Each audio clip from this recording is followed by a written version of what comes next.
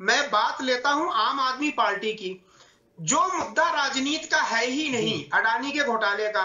ये लोग ज़बरदस्ती उसको राजनीतिक मुद्दा बनाना चाहते हैं आर्थिक मुद्दे को राजनीतिक और चुनावी मुद्दा बनाना चाहते हैं। अरविंद केजरीवाल जी जब संघर्ष कर रहे थे तो रोज पर्ची निकालते थे शीला दीक्षित ने इतने का घोटाला किया ये प्रूफ है।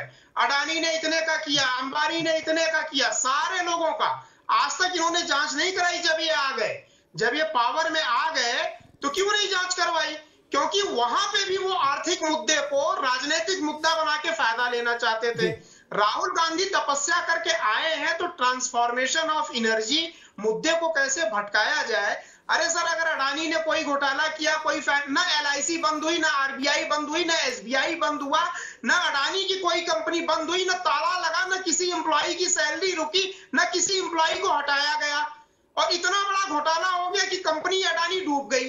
और सारे काम चल रहे हैं। अरे साहब सेबी है आरबीआई है कितने गाइडलाइन है? क्या पार्लियामेंट या भारत सरकार जब उसको बोलेगा तभी आप उसको वो, मुद्दा बनेगा? ये इनका ट्रैप ये है कि कैसे भी भारत सरकार या बीजेपी या मोदी जी एक बार कुछ ना कुछ बोल दे ताकि ये घोषित हो जाए कि हाँ भाई देखो ये सरकार ने मान लिया।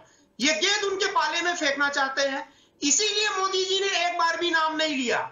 उस गेंद को अपने पाले में आने ही नहीं दिया और बहुत होशियारी से मुद्दे को निपटाते हुए मैनेज करते हुए निकल गए। जी।